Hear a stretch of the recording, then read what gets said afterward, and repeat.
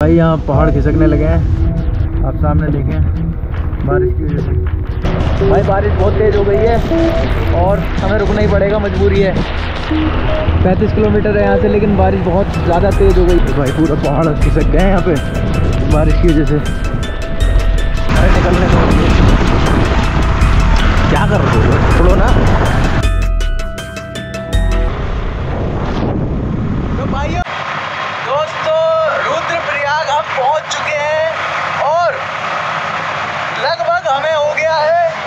चार घंटे चलते चलते ऋषिकेश से रास्ते में कई जगह रुके भी हैं और आपने देखा भी है।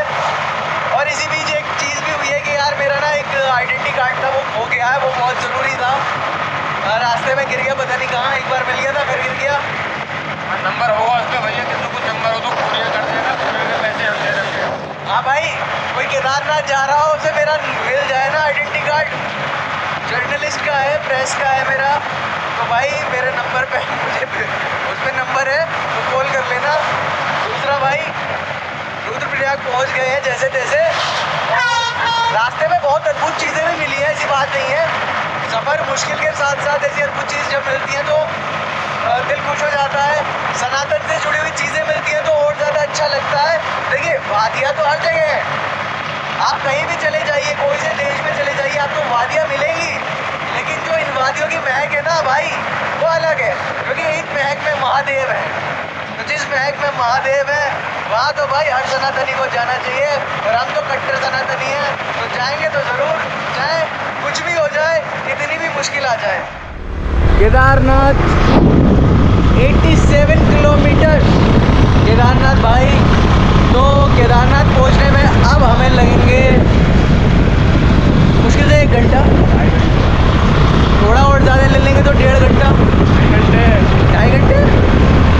अरे तो फिर आराम से रुक के चलेंगे तो ढाई घंटे तो भाई पहुँच जाएँगे कोई दिक्कत वाली बात नहीं है जब बुलावा आता है महादेव का तो तुम चाहे कहीं भी हो तुम पहुँच जाओगे हर हर महादेव हर हर महादेव शंभू काशी काशी विश्वनाथ गंगे महादेव गंगे महादेव नमः शिवाय ओम नमः शिवाय हरि हरि बोलो नमः शिवाय भाई हर हर महादेव करते हुए बस घर से निकल आओ यकीन मानना महादेव स्वयं बुला लेंगे और बिना किसी कठिनाई के बिना किसी कठिनाई के अगर तुम्हारे पास कुछ भी नहीं होगा ना तो महादेव अपने गण भेज देंगे और तुम्हें बुला लेंगे बस हर हर महादेव करके घर से बाहर निकल जाओ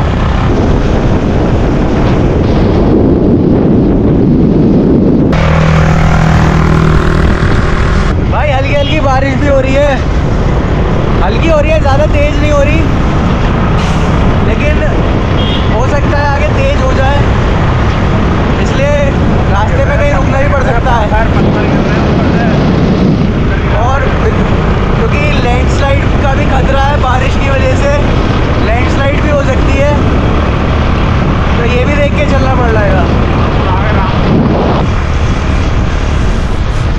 तो दोस्तों गौरी कुंड से पहले हम थोड़ी देर के लिए रुके हैं। थोड़ा चाय वगैरह पी लें और कमर भी सीधी कर लें। देखिए इनकी हालत क्या होगी। गाड़ी चला रहा हूँ देख लो। कितनी स्पीड से गाड़ी लग क्या घंटे चले हो गए अपन को? क्या घंटे? चार हो गए भैया। चार घंटे में केस ऋषिकेश से। और गौरीकुंड। है गौरीकुंड गाड़ी। मैंने क्या लगा दी? केदार बावन लगा दी। देखो। सही है तो भाई चाय वाय पीते हैं उसके बाद आगे चलेंगे। ठीक है। भाई बैग निकाल दिया है। ये कंधे में दर्द हो रहा है पिछले चार घंटे से बैग टांग रखा था। अभी रुके हैं भाई की दुकान पे। और और चाय बना रहे हैं भाई। चाय पीते हैं और फिर निकलते हैं। तो भाई जहाँ पर हम चाय पी रहे हैं वो ये गौरी कुंड से कितने पहले है दोस्त? ये पैंतीस किलोमीटर। ये पैंतीस किलोमीटर है और भाई की शॉप है। भाई नाम बताओ अपना। प्रियांशु। प्रियांशु प्रियांशु की ये शॉप है। भाई उधर चाय बना रहे हैं। हाँ दोनों दोस्त हैं भाई हैं? दोस्त हैं हम। दोस्त हैं और पढ़ाई भी करते हैं मुझे पता है। बिल्कुल, बिल्कुल, और अपना बिज़नेस भी कर रहे हैं। बिल्कुल बिल्कुल। बहुत बढ़िया यार बहुत शुभकामनाएँ आपको।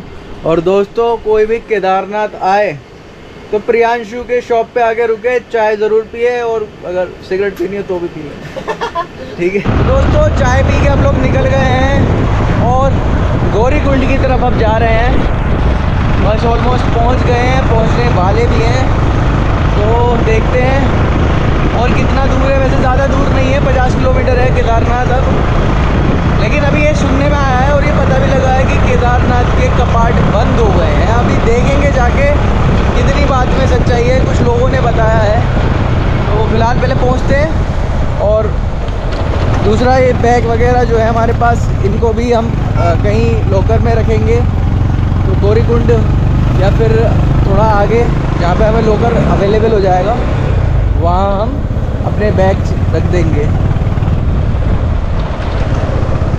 ये देखिए, ये लैंडस्लाइड पूरा यहाँ पे, रास्ता पूरा ख़राब हुआ पड़ा है। बहुत ज़्यादा यहाँ पे, जो है, छोटा है। और आप देखिए, पूरा रास्ता ख़राब भी हो रहा है लैंडस्लाइड की वजह से। दोस्तों, यहाँ से ही जाम जो है, वो शुरू हो जाता है। ये कुंड है जगह। और देखिए, रोड बहुत छोटी है, और जाम भी लग रहा है। चमोली को जा रहा है रास्ता केदारनाथ चौवन किलोमीटर है। हाँ सीधा सीधा। है? सीधा। सीधा जाना है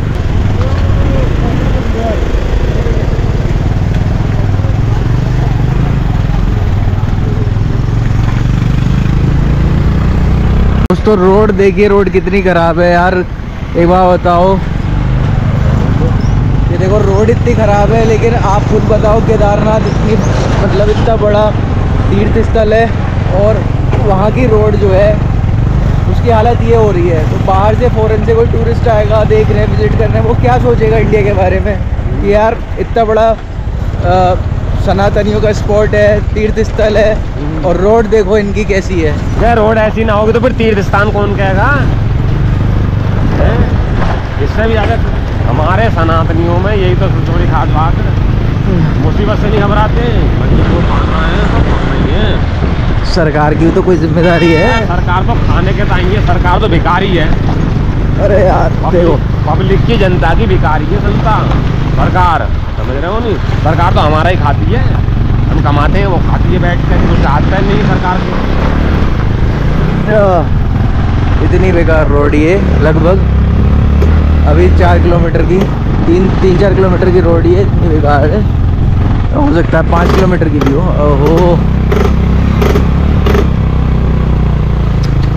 बाइक जवाब दे रही है क्या? कोई नहीं कोई नहीं कोई नहीं कोई नहीं। साइड में रुको रुको रुको भाई यहाँ से हो गया जाम लगना शुरू। तगड़ा वाला।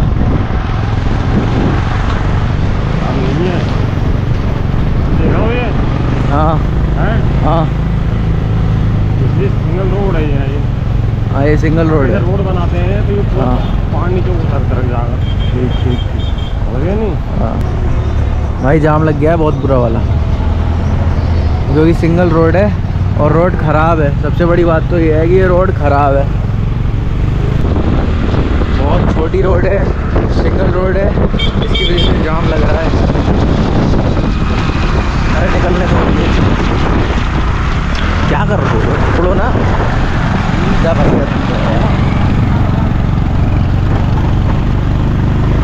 फालतू में रेस लगा रही है फालतू में। बहन रोड नहीं देख रहा कितनी तो भाई बहुत ही बुरे रास्ते से होते हुए हम पहुँच गए हैं गुप्त काशी। और गुप्त काशी से लगभग 40 किलोमीटर दूर और है केदारनाथ। कहाँ भी गोरी कुंड है। गौरी कुंड मैं टोटल केदारनाथ का केदारनाथ बता रहा हूँ ना 40 किलोमीटर है। तो केदारनाथ है भाई। 40 किलोमीटर फ़िलहाल गुप्त काशी पहुँच गए हैं और जैसे कि आप देख ही लो, रोड कितनी अच्छी है। ऊपर से मैं पीछे बैठा हूँ तो भाई समझ जाओ क्या हालत हो रही है। तो दोस्तों, गुप्त काशी में हैं हम और ये देखिए सामने, गौरीकुंड तैंतीस किलोमीटर है। तो भाई गौरीकुंड जा रहे हैं अब रास्ता बहुत ख़राब था पीछे का अभी थोड़ा ठीक है और देखते हैं और कितना समय लगेगा, क्योंकि लगभग हमको पाँच घंटों से ऊपर हो गया है चलते चलते। देखते हैं और कितना ज़्यादा समय लग जाएगा।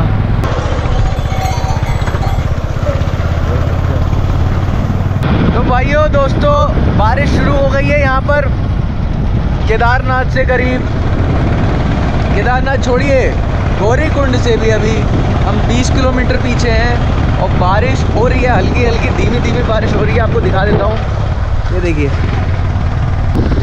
देखते हैं अगर ज़्यादा तेज़ हो गई बारिश तो भाई रुक जाएँगे कहीं साइड से, कोने से, बाइक लगा लेंगे, चाय वाय पी लेंगे। अगर तेज़ होगी तो बारिश। नहीं तो फिर ऐसी रही तो चलते रहेंगे। और देखते हैं फिर, पहले गौरीकुंड पहुँचते हैं। तो दोस्तों, रास्ते में रुकना पड़ गया क्योंकि बारिश हो रही थी।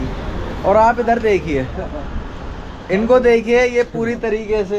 दोस्तों बारिश का मौसम हो चुका है और यहाँ बारिश पड़ रही है रास्ते में। वो जो आप ज़्यादा मौसम देख रहे हो कितना टिकट मौसम हुआ गया है। भाई बारिश हो रही है इसीलिए भैया रेनकोट पहनने। हम तो लाए नहीं अपना रेनकोट अपना तो यही जो है वो है। देखा जाएगा अगर भीग गए तो। फ़िलहाल मौसम ऐसा हो गया है आप देखें। हाँ रेनकोट लाने की ज़रूरत है क्या है ना ये खुद ही रेनकोट है।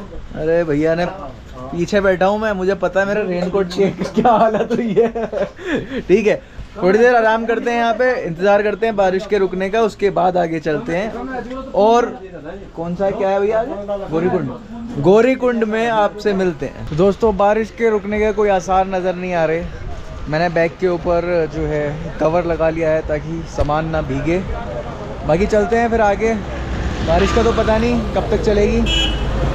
लेकिन हमें आगे पहुँचना तो है तो निकलते हैं यार बस देखा जाएगा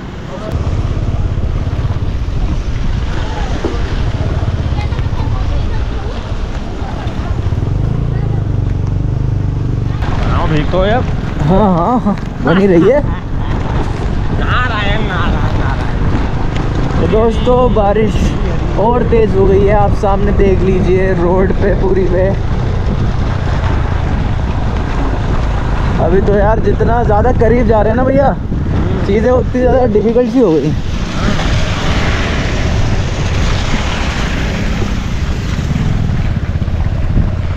तो भाई, पहले तो कैमरा साफ़ करते हैं, पानी आ गया। तो बारिश हो रही है, भीगते हुए जा रहे हैं। देखते हैं क्या होता है। क्या होता है, क्या पहुँच नहीं है यार। आप देखो बस हमें, पहुँचते हुए किस तरीके से हम पहुँच रहे हैं और आप तक ये सारी चीज़ें कैसे कैसे पहुँचा रहे हैं। तो भाई, यहाँ पहाड़ खिसकने लगे हैं। आप सामने देखें, बारिश की वजह से। निकल लो जल्दी से भैया। पता लगे रास्ता बंद हो जाए।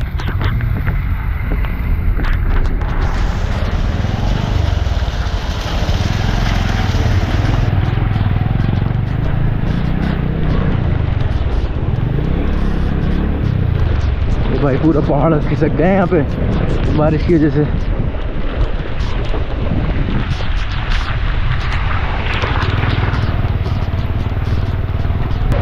भाई, बारिश बहुत तेज़ हो गई है और हमें रुकना ही पड़ेगा, मजबूरी है। पैंतीस किलोमीटर है यहाँ से, लेकिन बारिश बहुत ज़्यादा तेज़ हो गई है। सामान है, सारा भीग जाएगा, ख़राब हो जाएगा, कोई फ़ायदा नहीं है। तो हम रुकेंगे, यहीं पे रुक जाते हैं। रुकते हैं भाई। तो भाई बैग में घुस गया है पानी और पास की ही एक शॉप है भाई की। इनकी शॉप से मैंने अपने लैपटॉप को पॉलीथिन में पूरा पैक कर दिया है। यार लैपटॉप भीग गया तो बहुत नुकसान हो जाएगा। और बैग के लिए भी कुछ इंतज़ाम करते हैं भाई से। देख रहे हैं पॉलीथिन मिल जाए। क्योंकि तो बारिश बहुत तेज़ है, आगे जाना है। तो तो भाई गौरी कुंड से 20 किलोमीटर पहले हम रुक गए हैं। और ये दोनों जो है तो जिनसे मैंने अभी पॉलीथिन ली थी तो इन्हीं के यहाँ पे मैंने रूम ले लिया है, क्योंकि तो बारिश बहुत तेज़ है भाई। बारिश बहुत तेज़ है और रूम ले लिया है। मैं दिखाता हूँ आपको अंदर। थोड़ा सा अंदर है, लेकिन सामने का व्यू बहुत बढ़िया है। तो भैया, रूम ले लिया है यहाँ पे। आज का स्टे यहीं करेंगे।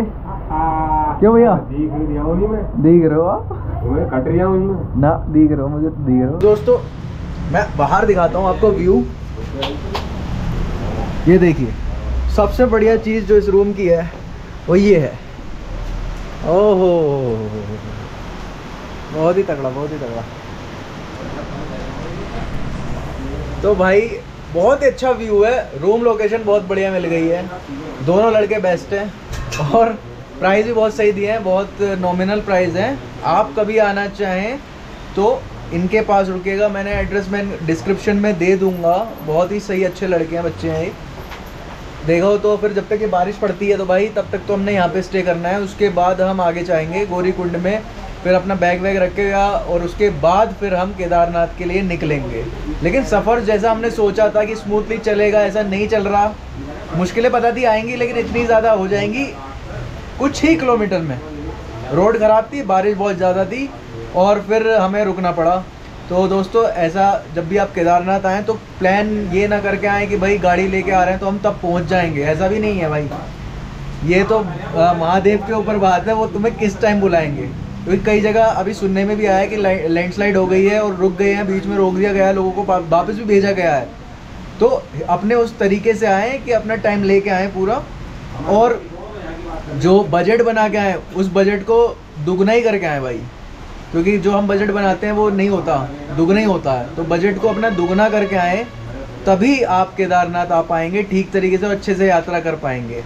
दोस्तों को ज़रूर, अकेले तो मैं नहीं कहूँगा अकेले किसी को आना चाहिए। दोस्तों को लेके आए, एक आध दो दोस्त को लेके आए, थोड़ा सही रहता है। मुश्किल वक्त कहीं भी आ सकता है भाई। लैंडस्लाइड बहुत ज़्यादा हो रही है तो मुश्किल वक्त कहीं भी आ सकता है। तो दोस्तों को लेके आए फ़िलहाल यहाँ स्टे करेंगे और कल सुबह हम यहाँ से निकलेंगे कहाँ के लिए? गौरीकुंड के लिए।